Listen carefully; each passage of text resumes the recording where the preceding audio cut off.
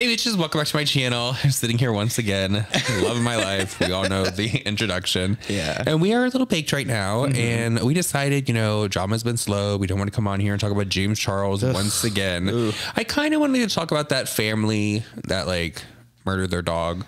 like where have, th- where have they been? Uh, people who need to dive into that a little Who bit knows? deeper. But instead, we are going to react to a video that is going around about Gabbie Hanna right oh, now on Twitter. That it's not Gabbie Hanna anymore. Oh. it's Krabby Gabby. Krabby Gabby. because So- she's always crabby. so Krabby Gabby is still up to her tricks over there on Twitter, and she did a video. I guess she has like a Discord or something where she does like private video Her chats Patreon with her followers. friends. She calls them her friends, but you know it's the people that pay to.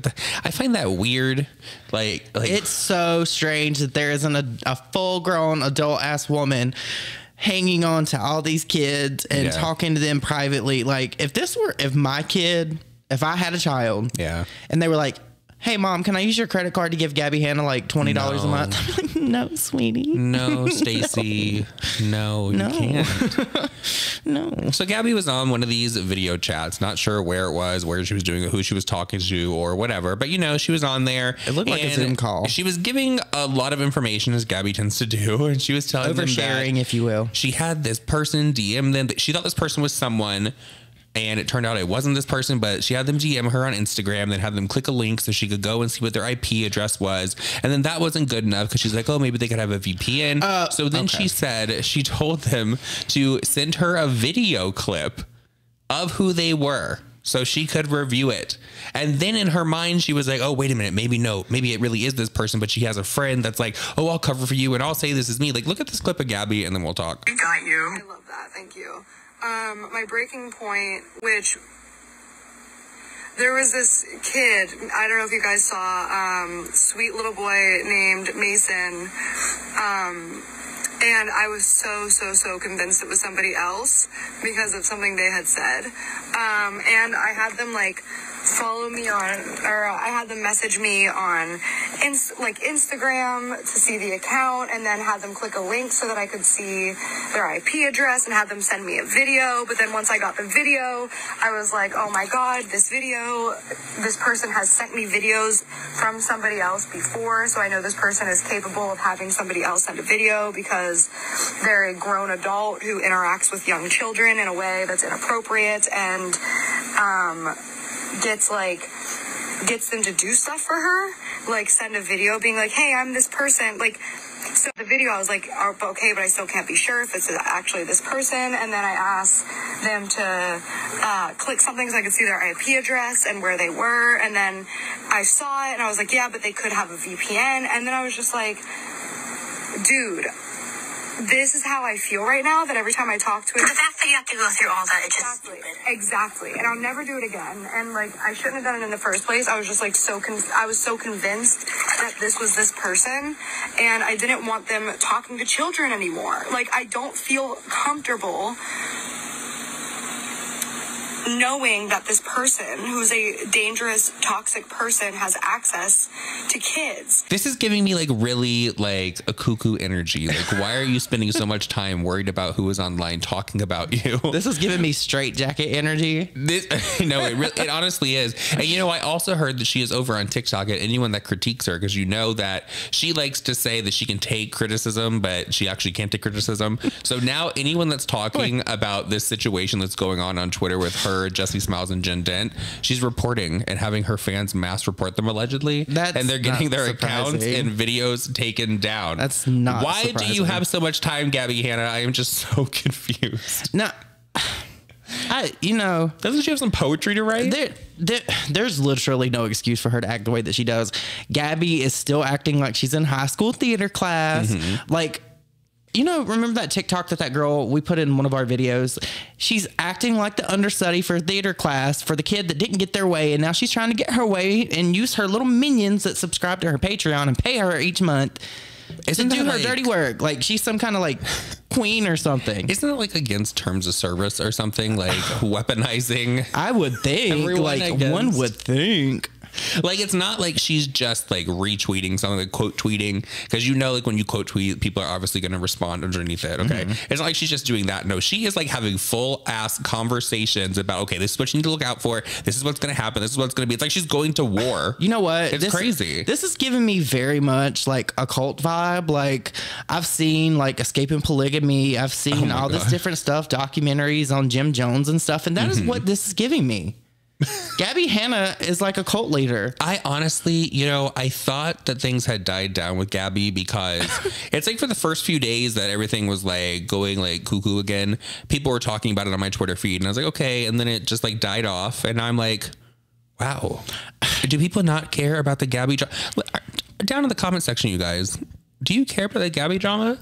Uh, because I yeah. haven't really seen much of it on Twitter. It's one of those things where it's like some other stuff happened, like all the stuff with Mm-hmm. James. So it's kind of like everybody's eyes got like shifted to that. But it's always something Oh. new. Like Gabbie has to do something crazier and more outlandish to get people's attention drawn back to her. It's so weird. Oh no, it's like a battle with James and Gabbie right now. It's like Gabbie was getting dragged on social media, and then James was like, "Oh, I'm gonna one up you. I'm gonna upload this little video clip over here to my Twitter." Mm-hmm. And Gabbie was like, "Oh no, hold it, hold it real quick. I'm gonna come back." I am still not past her trying to get people to click on links to get their IP address. That is creepy. that is sketchy. weird. That is uh, okay. Why are you trying to get people's Remember- personal information, Gabbie? What, like a week ago, wasn't she saying that she was going to sue these minors and she needed their parents to sign like an NDA where they wouldn't speak about her and she wouldn't speak about them? Like, what? That what is it that odd. you are doing privately to where you have to like have a child sworn to secrecy? Like, She was threatening minors with legal action for talking about her on the internet. That is how much time Gabbie Hanna has. She literally focuses on Okay. underage people Listen. talking about her on the internet and then goes and threatens them. you need to manage your expectations. Seriously. you really need to manage your expectations. Honestly, she should. no, like Gabbie, she needs to chill. I'm just confused. Daddy, chill.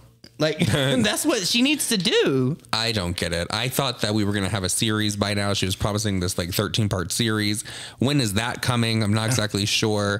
I was at least expecting like a new song or like a poetry book or something to drop. Mm. But now it just seems like Gabbie is bored. It has nothing to do. So this is where we're going with the content for now. Gabbie is such a linguist. Yeah. You should see the poetry. Yeah. it's terrible. The spoken word was. Oh, my favorite is the irrelevant that she put on her forehead. Now, see, I, but I'm going to give her the benefit of the doubt with that one because the full word wouldn't have fit on the forehead. So she made it short like that because she knew people would talk about it.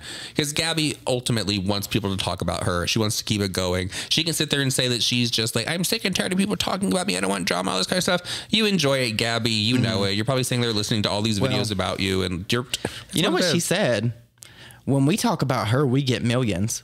When she talks about us, she still gets millions, but it's not because of us. Sweetie hadn't had a million know. view video and I don't know how long. Well, girl, neither have I. well, I mean, yeah, but we don't have how many followers? I'm Does she have like 12 million or something? I'm not hating. No. I mean, I'm not hating either, but you know, Does she? No, I think she has like a.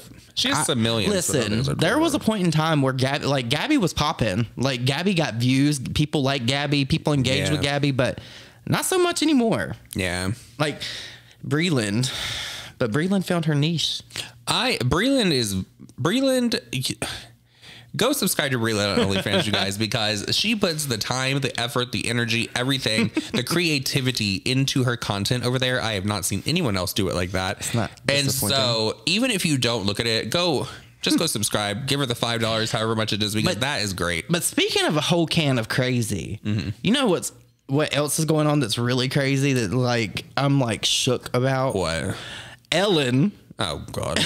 lost her show. no, she. Well, according to her, she didn't lose her show. She wants to retire. She wants to retire at season 19. She doesn't want to go to the full 20 because 19 is just the number for her. No, okay. And it totally has nothing to do with the allegations, the workplace environment, or anything that happened over the summer. Mm-hmm. Uh, it's just because it's it's the right fit for her. yeah. No, it's not Ellen. And I saw that interview that she did where she was discussing everything. And the whole time, the only thing I thought was she's sitting there with an attitude. She does not want to do that interview. No. She is pissed You guys, that is a lot of money that she is not going to be bringing in. I, mean, I will like she say, I think that Ellen, um, she's one of the first like I would consider Ellen A list, right? Oh yes. She is one of the first people that is like a celebrity that I've actually seen like canceled canceled because they canceled R. Kelly and rightfully so Oh. because that was a whole thing like the expose and all this all that stuff that went on with him because we had people exposing him left and right on YouTube like Tasha K